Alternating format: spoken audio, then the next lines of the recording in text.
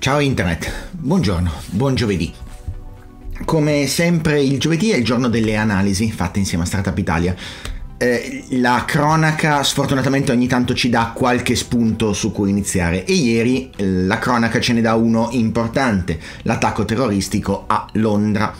Un attacco terroristico che ovviamente, come spesso accade, ha vibrato molto all'interno della eh, piattaforma Twitter, come sempre succede con le breaking news ad alto appeal.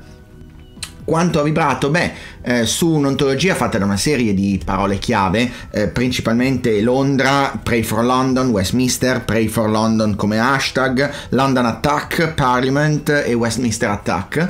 In, in 24 ore sono stati 2 milioni e 600 mila e rotti i contenuti che abbiamo rinvenuto questi contenuti in realtà legati principalmente a una breaking news lanciata per prima, almeno quella che ha eh, fatto trending, da eh, Le Globe, quindi da un quotidiano francese. Gli hashtag di riferimento sono quasi tutti quelli che abbiamo trovato all'interno eh, delle parole chiave aggiungendo we are not afraid non abbiamo paura una insieme a pray for la location uno degli hashtag classici in caso di attacco terroristico la distribuzione, beh, ovviamente United, United Kingdom, quindi Inghilterra per primo e Stati Uniti d'America per secondo, ma forse è ora di usare un po' più di cinismo e andare a vedere come la piattaforma ha interpretato questi dati. Eh, diciamo che i dati questa volta danno uno spaccato piuttosto preciso